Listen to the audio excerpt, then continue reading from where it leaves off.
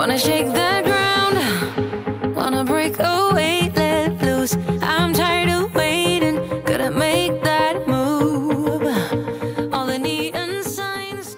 Hey guys and welcome to my YouTube channel. If you're new to my channel, my name is An and in today's video I'm going to show you how I created this smoky green makeup look. This look is inspired by my friend Annie which I met in LA last year. Um, she posted this gorgeous green look in her Instagram story and I was like girl damn that's so beautiful and also I realized I haven't done something green for a while. So this is inspired by Annie. I'll put her name in uh, over Instagram in the description bar so you can check her out. She's really sweet and I'm sure you guys will love her.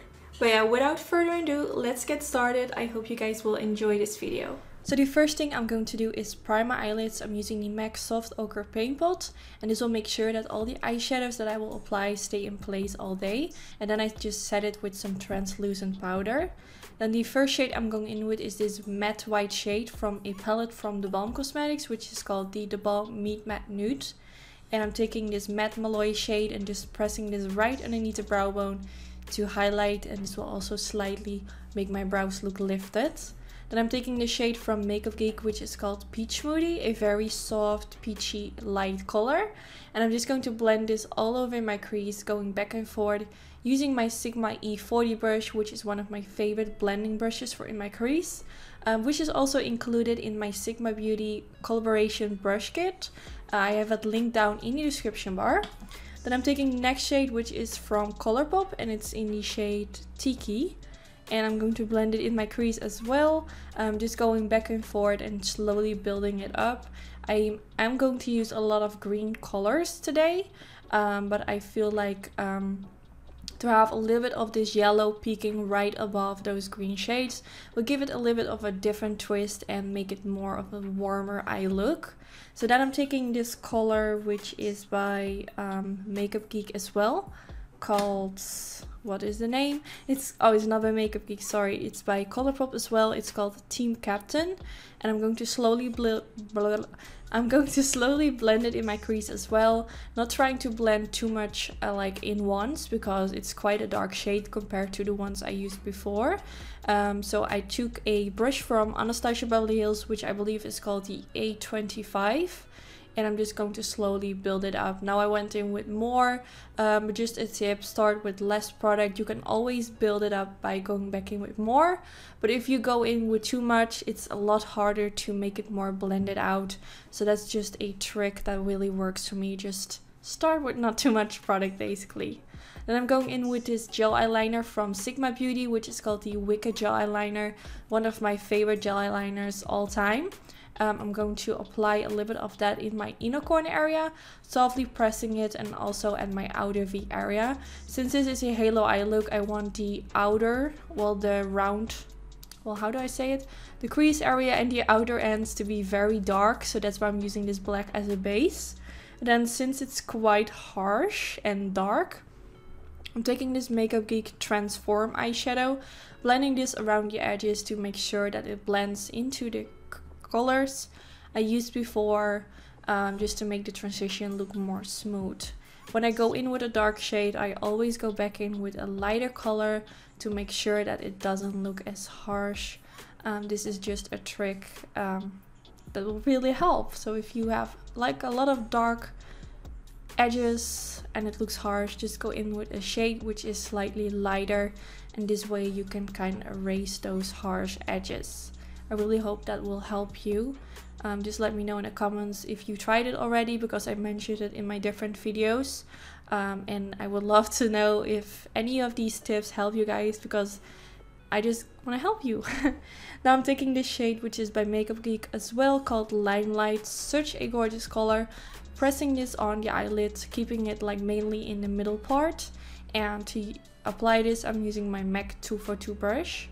Uh, which is my favorite brush for applying eyeshadows on the eyelid.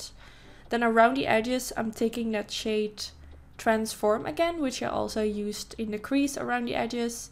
Um, applying this around the edges of the limelight color as well to make it blend into the dark shades at my outer V.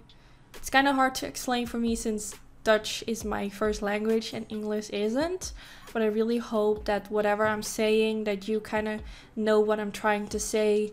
Um, because sometimes I don't really know what uh, words to use. So now I'm taking a NYX matte liquid liner, my favorite liquid liner, and I'm going to create a very simple black line above the lash line. You can also go for a winged liner, but with this particular eyeshadow look, I want to just keep it simple. Now I'm taking the Mr. Right pencil, and this is a black pencil from The Balm Cosmetics. A really nice one, they recently launched the new pencils. I'm going to apply this in my waterline to make it extra black and smoky, since this is a very smoky eye look today.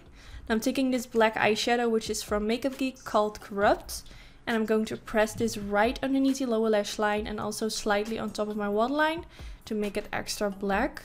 Then taking that shade uh, Transform again from Makeup Geek, blending this right underneath it using a pencil brush. And since I use this in my crease as well, you can see now that it's really easy, now that I'm blending that, that it kind of connects with my crease.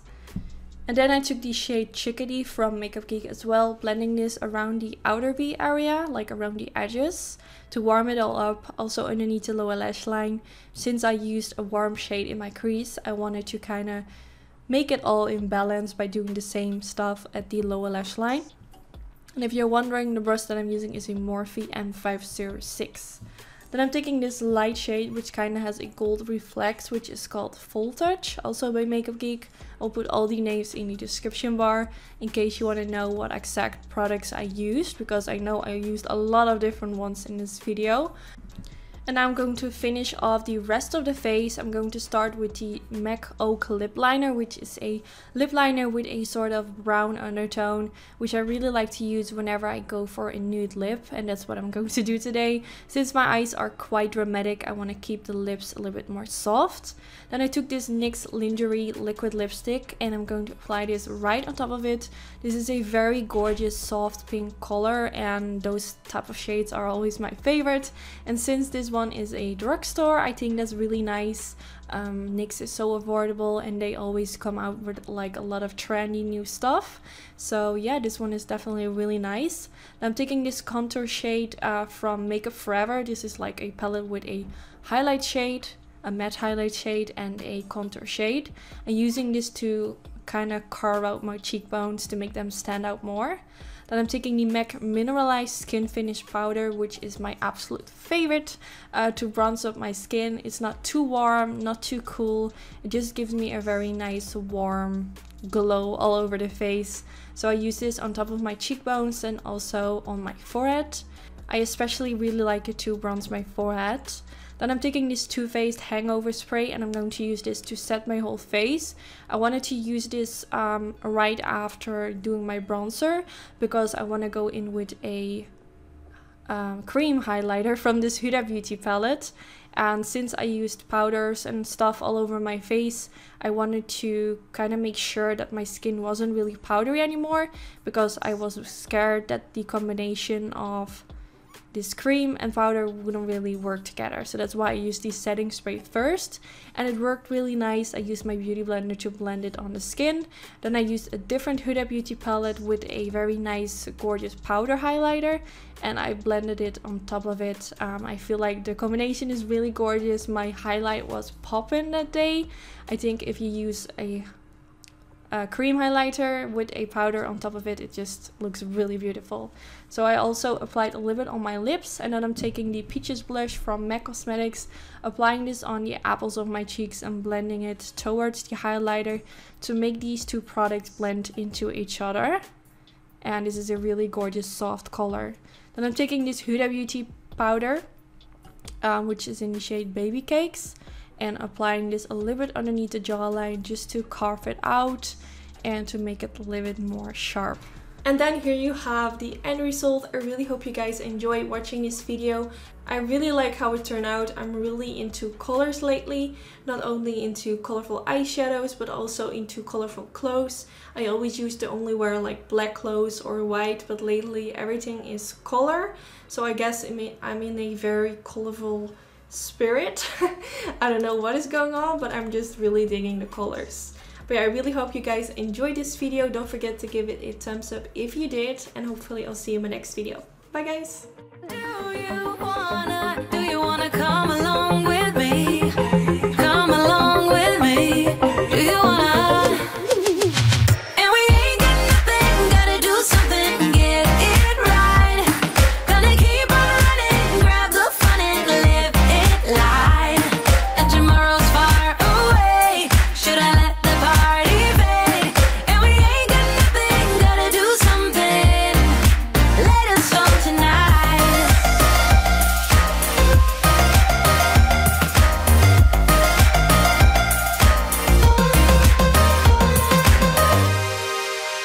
Got a restless mind.